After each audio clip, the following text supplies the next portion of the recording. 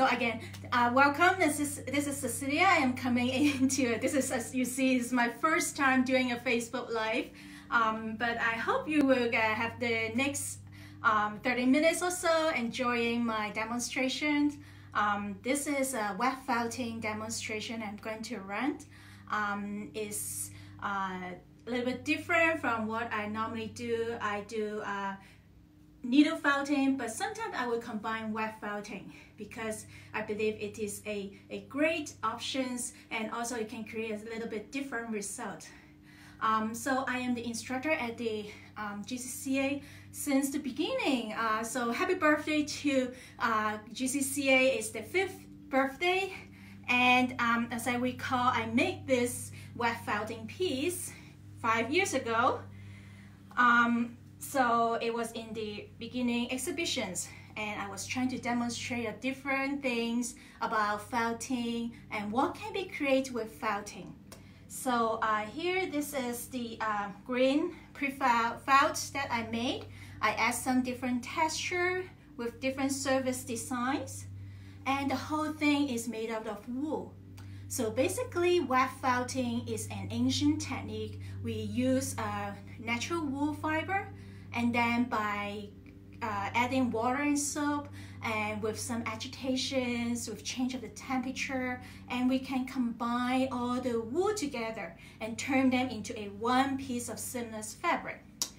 And then um, lately people are using more like a different type of felting. We call it the needle felting.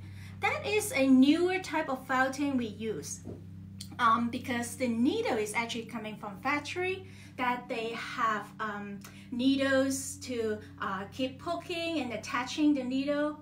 Um, so there are different ways to do it, but I love actually combining both.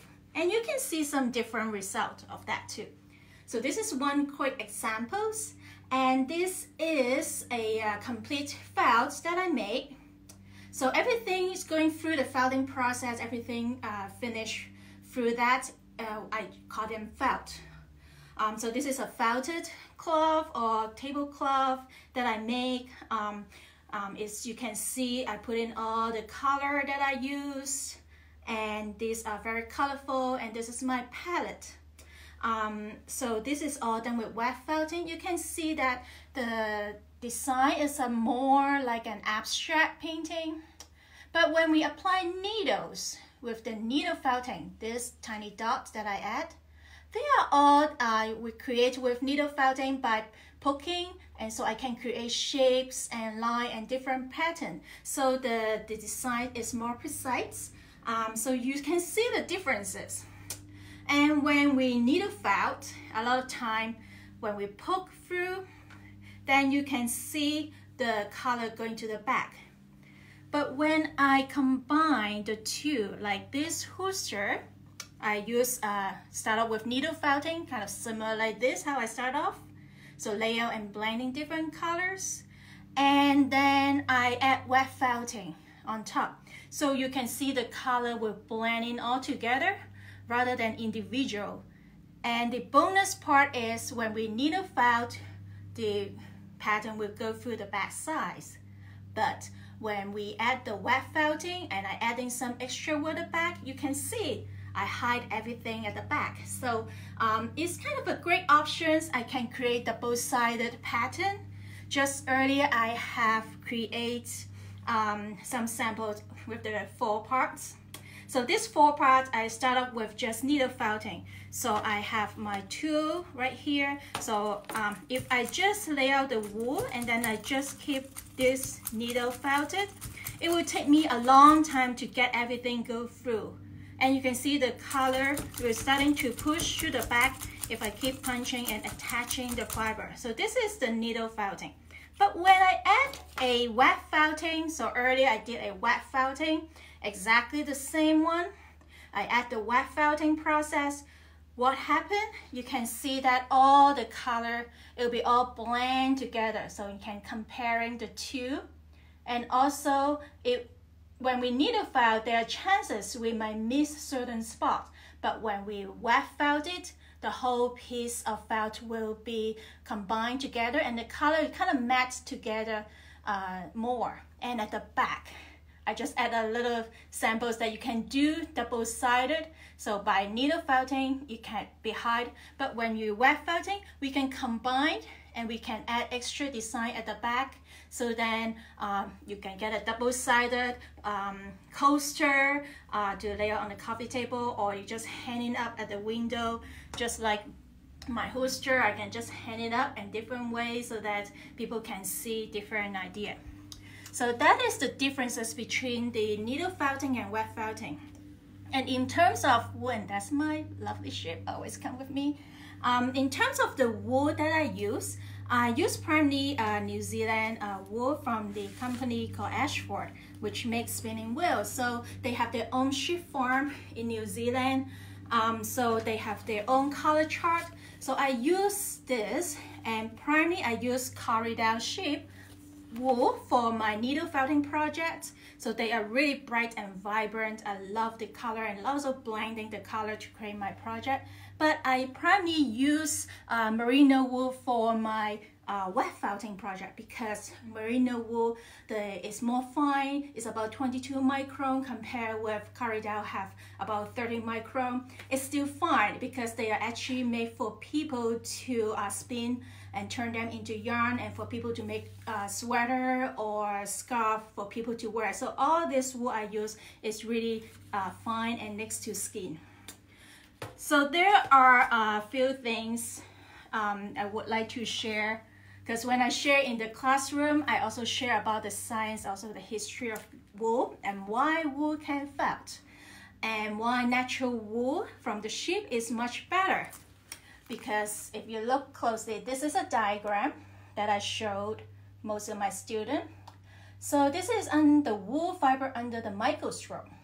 And you can see there are little scales along the fiber. And they are pretty important. If they have more, it's kind of like Lego. It has the interlocking uh, property allow the Lego block to lock together. So think about wool is same. If they have a lot of scales, it allow them to interlock and they will tangle together and stick together much better. And that's why wool can felt. But when there are like wooden blocks, they have flat surface they don't have any interlocking system. So if it's you have a plastic that is man-made with just straight fiber or even certain type of plant, they don't have much of these scales uh, like the, um, the merino wool or uh, other type of animal wool like uh, goat. Um, they will provide the cashmere or the Angora goat as well. Um, so they are the mohair. So then they all have lock. But for certain plants like silk, they might not have as much as many scale that so they won't attach together as good. But when we combine, so these are the color I have posted online for those people interested. And thank you for many of you coming in to pick up the color so you can work along together. So these are the blend of the merino wool and silk. So the mulberry silk, it gives some shininess. So um, then you can create beautiful um, project.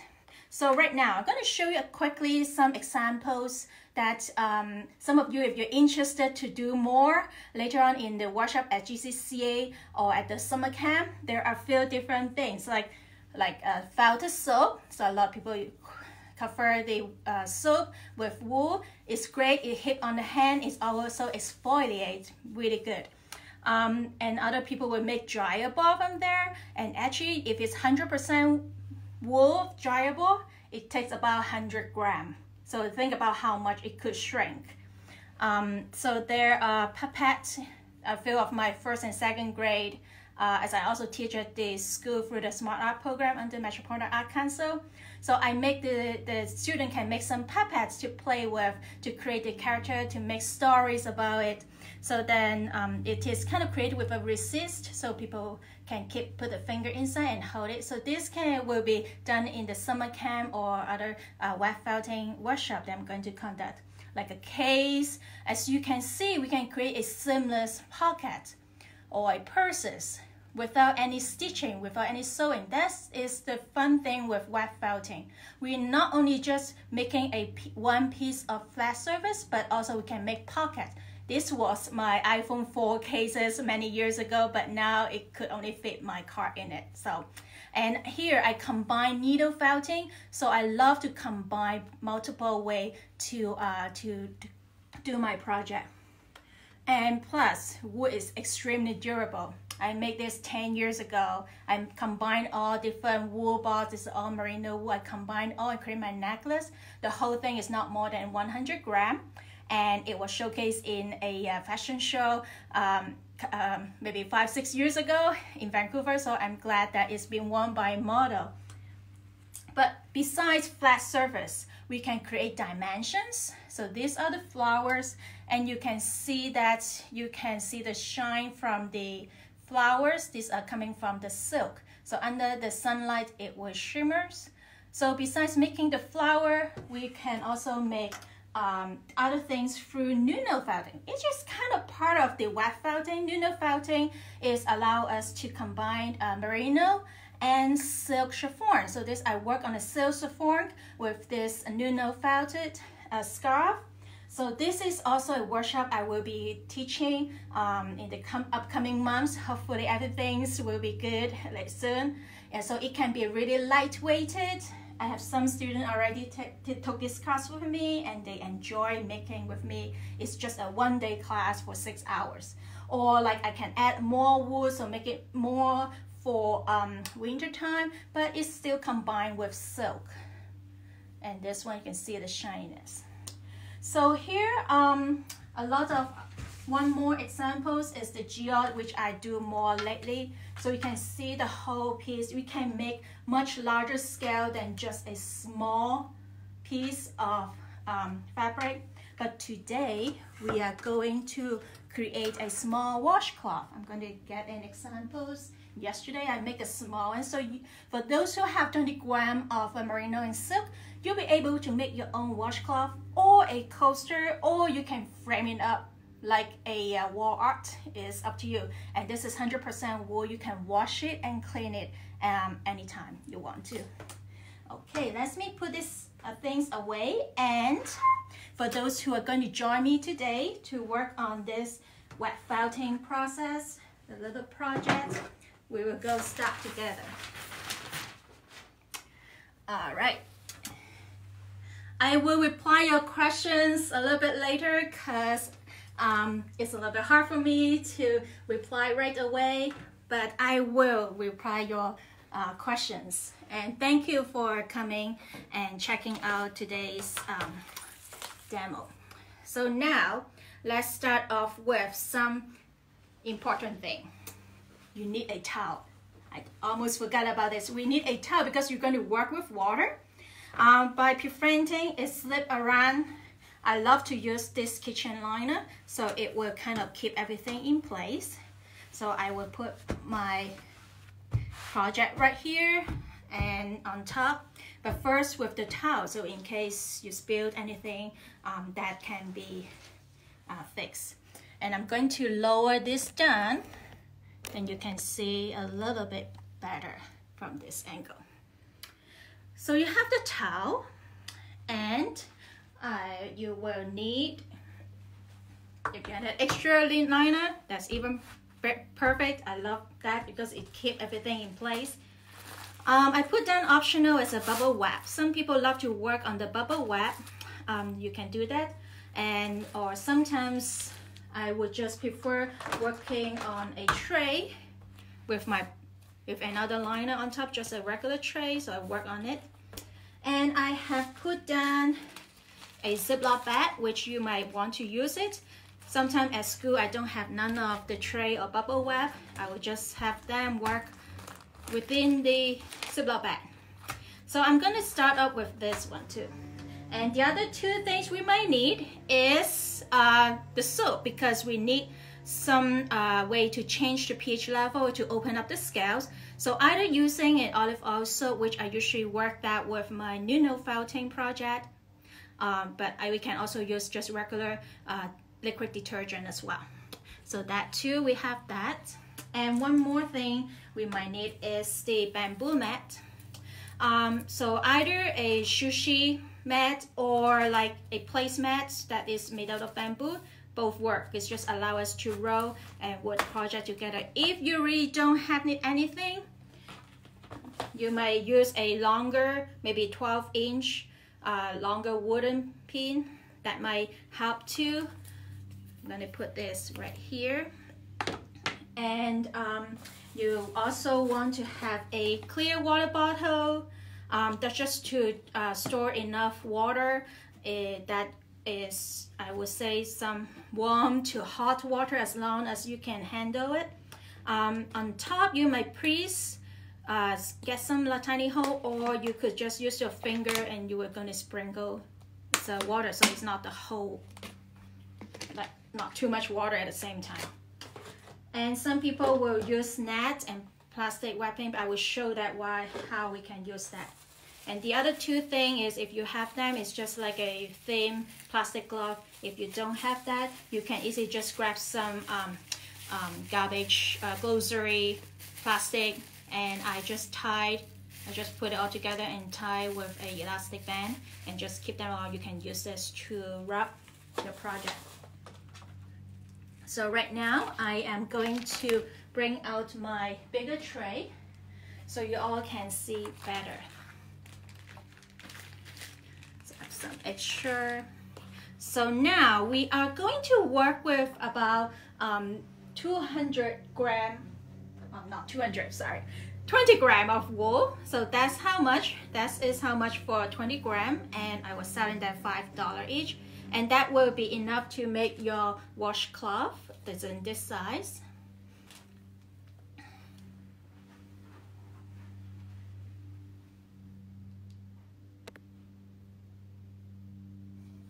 So I um I find out a lot of people love the green. This time I have many people pick up the green, but I am going to make multiple colors. So I have uh, 10 gram. Uh, I will do uh, 10 gram of green, and I will mix in uh, maybe an, a 5 gram of red and then another 5 gram of yellow. So then you will um, get to see this is about the 20 gram. So you can see multiple layers. Because when we create the uh, layering, uh, we, we create not just one layer. We need to do at least maybe four layers, sometimes even more, depends how thick you want. So I'm going to show you how it works. So there you have this wool and this is how you start. So if you are ready, you have your liner. Uh, maybe you can put a piece of paper it's just a guideline and also help to pick it up and insert everything you work on afterward on top of the, um, the Ziploc bag. So we're going to work within the Ziploc bag. So we're going to pull. So this is how it starts. You will kind of grab with your hand like this and gently cover over it. And then you pull and you will have a thin layers of fiber. And you're going to line it. So we're going to line like in a row. So we're going to start from one end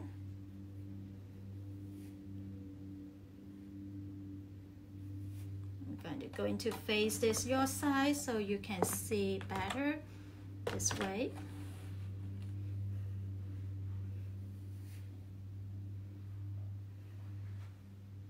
And then I will start off with my second row.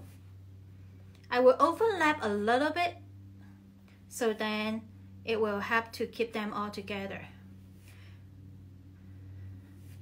And then my third row, so this is my size for my project. And then my last row, I will keep rowing. I will just turn this way. And then you see about five gram, I can cover one layer. So this is maybe my bottom layer of my pre-felt like this. If I start off, it will be the bottom layer.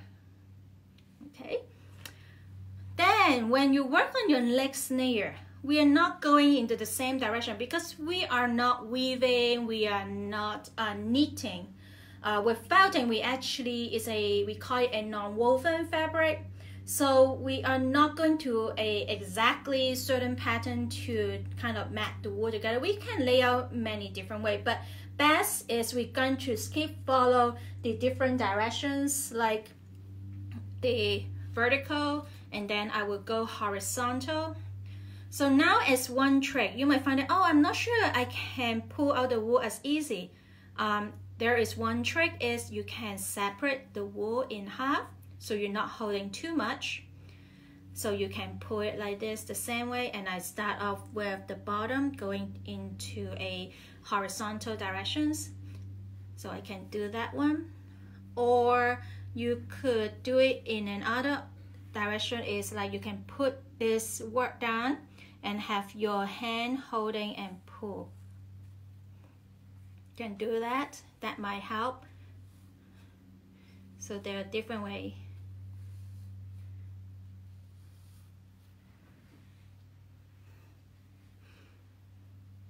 Going to do it the other way.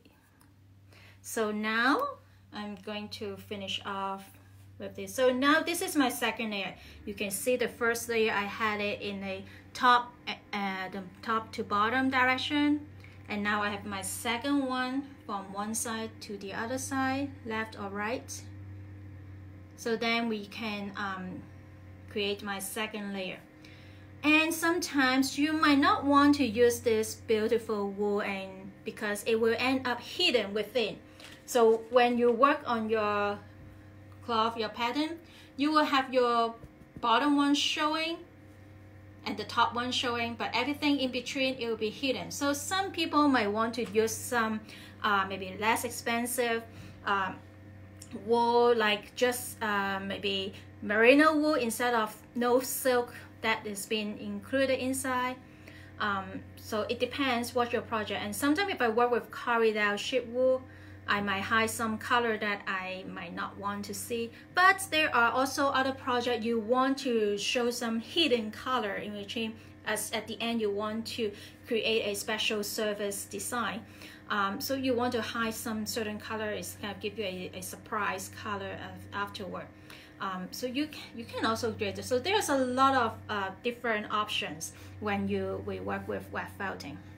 So this is my second layer. I'm trying to touch up different spots that I think I might miss and because I want to finish up my second five gram of color wool in red. So now I'm going to add my um, third layer.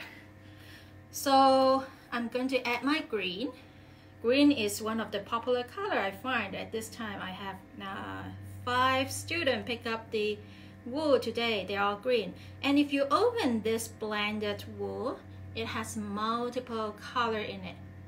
But I'm not going to just lay everything down because sometimes it's good you have like uh, pull them out because as you pull more, you will increase the chances it's going to catch with other wool together so it will um, blend together a little bit better. So I we're going to back to the horizontal, uh, the vertical. I have horizontal for the red, and I'm going back to vertical. So I'm going to add this vertical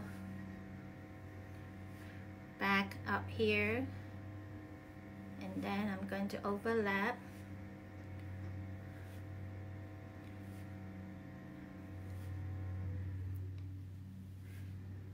So pulling is a little bit, um, the wool is a little bit um, something that you need to practice.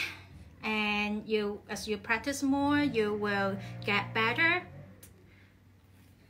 So this is my um, third layer. And my last layer I'm thinking I'm going to add some uh, special pattern. So I'm going to add my yellow in it the yellow will be, I'm going to create a certain pattern, but not necessarily will be in, um, in the same vertical or horizontal direction because it's the fourth layer already. So I'm going to add a few pattern like here, but I open up and trying to create a, a fill pattern. And I can mix color as well. I can mix and blend different color if I wish to. So so first I'm going to add this. and I'm going to add a hint of purple inside so that you can create a nice pattern out from this beautiful merino and silk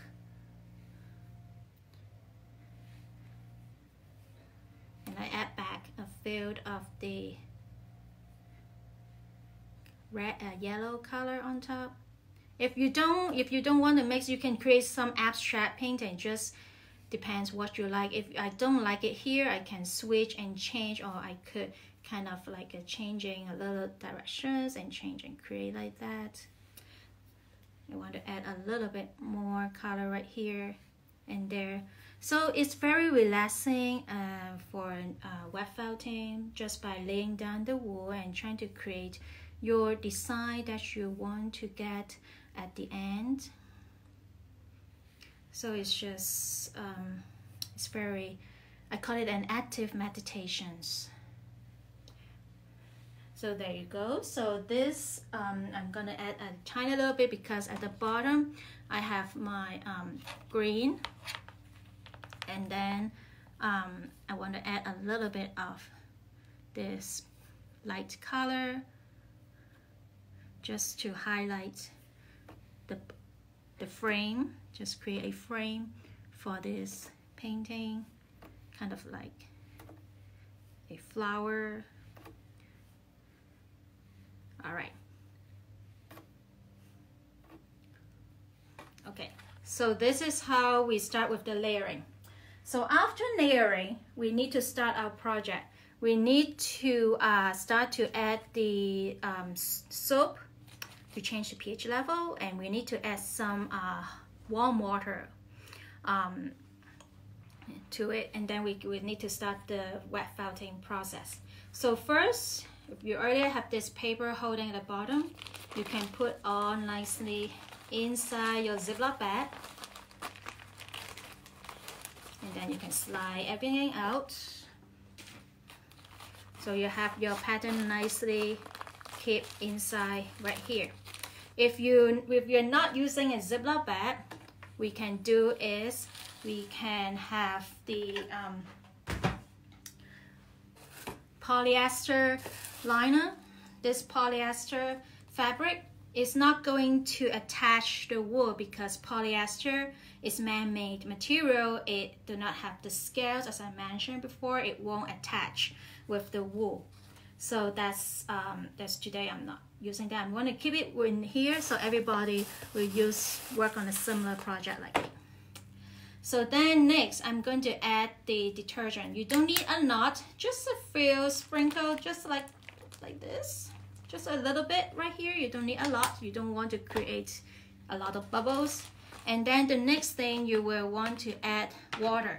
So I have some uh, boiling water adding in into a, a half bottle of uh, room temperature water. So I know uh, how much how much heat that I can handle. So this one's pretty good. So as long as you can handle the, the heat, that will work fine. So now I'm going to spray water inside.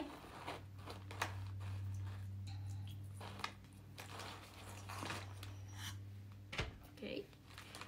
So you might want to kind of zip up the Ziploc bag so then in case of any water spill and now you're going to press but not too tight because you can release some air but you can keep press it down. So you need to press down and make all the water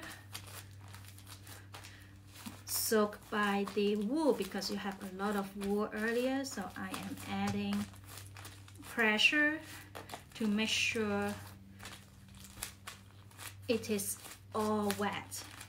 If you feel that like this, there's certain part that is not uh, wet, I'm gonna add some more water.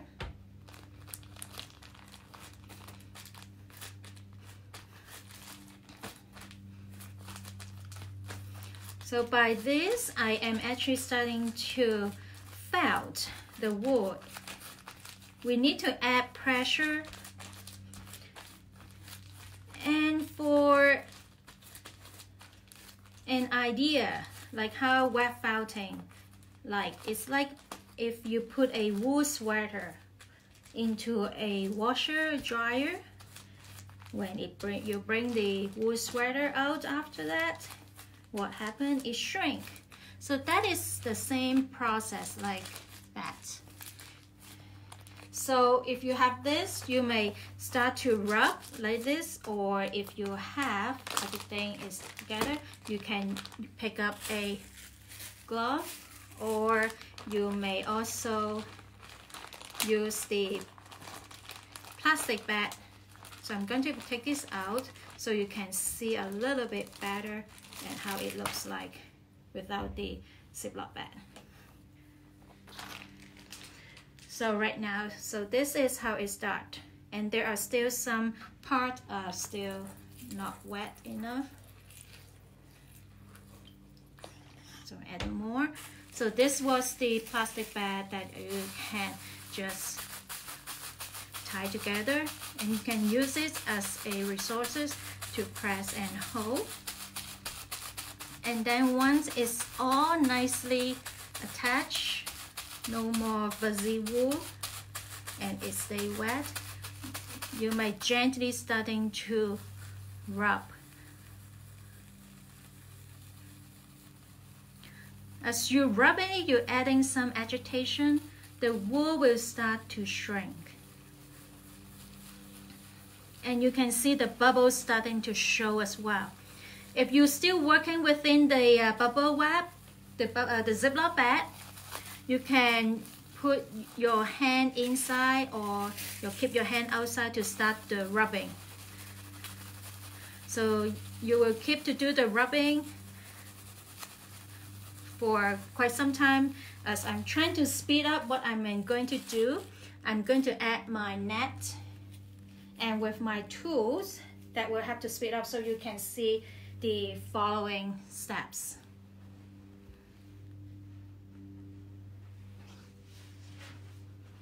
So with this, I can use my glove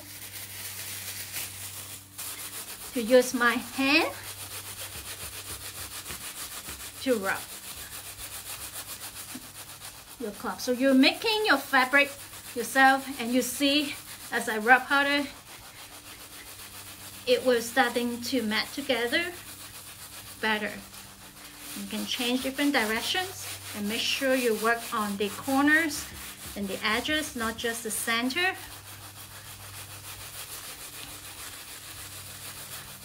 So it's a workout but it was fun because you're going to make your own fabric by hand.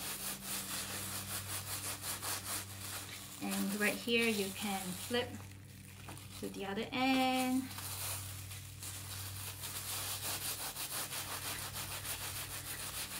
And I can start rubbing a little bit more. You can even put your hand just inside a, a plastic bag to rub it because with the plastic it helped so without the net it can it works too but the net will help to keep everything in place right in the beginning. But after they starting to felt nicely together, you see, it will be fine. It's going to stick together more. So how to find out when it is ready? So I'm gonna put this away. When you think that it looks kind of stick together, we have a pinch test. So you have your finger holding and trying to see, oh, you can see that some of the wool is still coming up, which means it is not quite wetty. So I'm gonna need to rub a little bit more harder.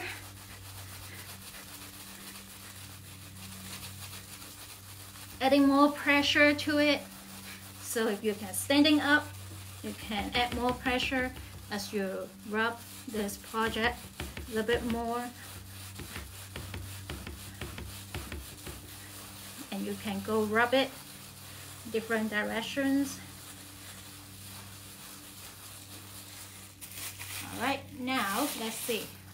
Now it's much better. You can see that if I push it down it is not coming up as easy. So this is starting to to do well starting to felt. So now usually I would go to the sink and rinse out the um, the bubbles.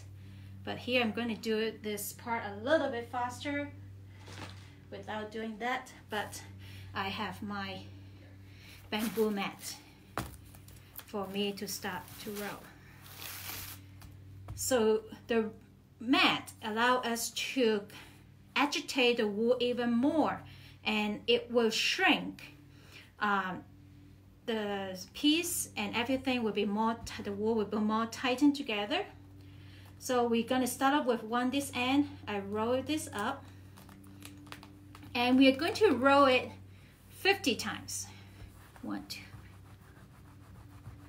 The way we are rolling it, we are trying to um, get all the wool to shrink this way. So it will shrink as we roll it like it for 50 times. And then once we're done with this part, we're going to rotate because we want to go this side and because we roll here we're going to work well on along the long side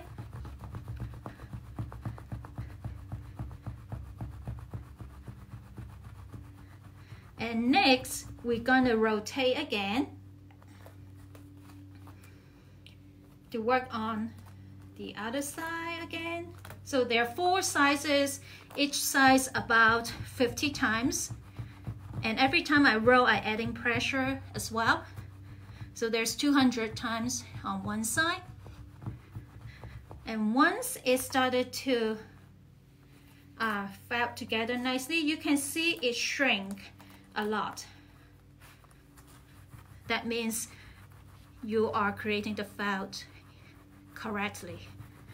And you can see all the wool stick together really, really nice. Switch hand,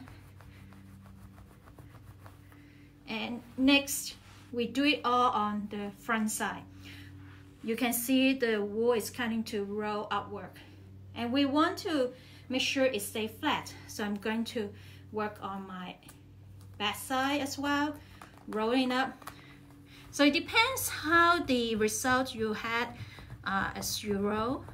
You might adjust it you might not need to roll as many or you might want to make sure it felt really really nice. So you might want to uh, roll more more than just 50 times. So it all depends um, and the type of wool that you use it also uh, create a big um, change big difference in the result and in terms of the wool when I work with wool, I know what type of ships that I'm working with, what kind of ship wool I'm working with. So I know I work with merino because I know that it will felt nicely together and it's like a fine fabric. But when you purchase certain type of felting wool online, they might not state what kind of in, uh, con, uh, ingredient because there are times the felting wool, they are actually combine some synthetic fiber in it, which don't allow you to felt.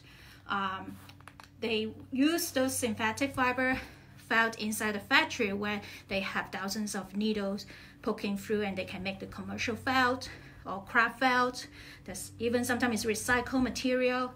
So for those who are really want to work on something, um, you don't want to spend extra times um, and working with good quality material.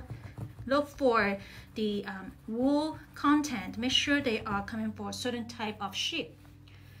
And all different ships will give you different micron size. So we look at the micron size when we work on a project. So now, so after all the felting, it looks pretty well together right now. And um, the other one more step for us to do is to fulling it. So F-U-L-L-I-N-G. The fulling, basically we want to add extra shock.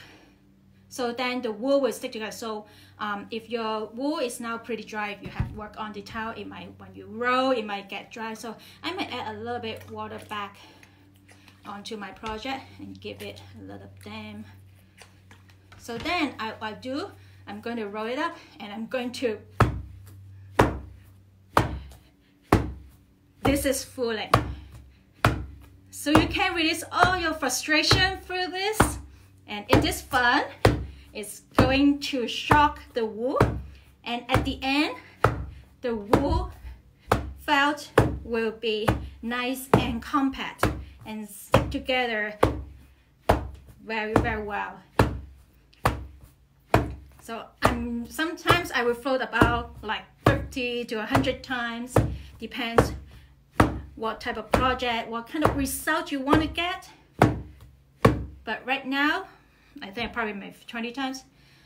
You can see that the flower is starting to have this little bubbles is uh, coming up. It's not flat. So this is how you see the wool has been trying to tighten together.